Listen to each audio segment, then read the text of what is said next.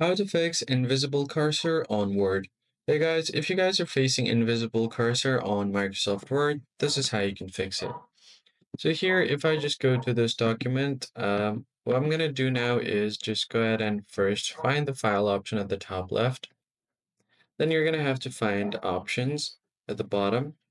On the left side of your screen, just click on option and this menu will pop up on your screen. Here under general, you could find the cursor settings here, but if you are unable to do so, head over to advanced settings. And from here, you can see the editing option. If you scroll down a bit, you have cut, copy, and paste option. And then if you scroll down just a bit more, you'll have the display option. You just need to make sure that this is turned on, optimize character positioning for layout rather than readability. You need to make sure to turn this on and click on OK. And once you've done that, the one more thing you can do is find the hardware acceleration option. Uh, I am unable to find it on my uh, device because it's not available.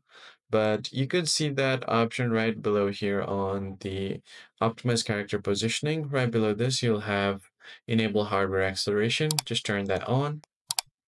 And finally, what you can do is just go to the search bar on your Windows and search for cursor and you can change mouse and pointer display settings. Make sure that your cursor is turned on here. See what kind of cursor you're using from this list. Choose the one that you prefer, click on OK, and you should be good to go. That's pretty much it, guys. I hope this tutorial was helpful. I'll catch you guys on the next one.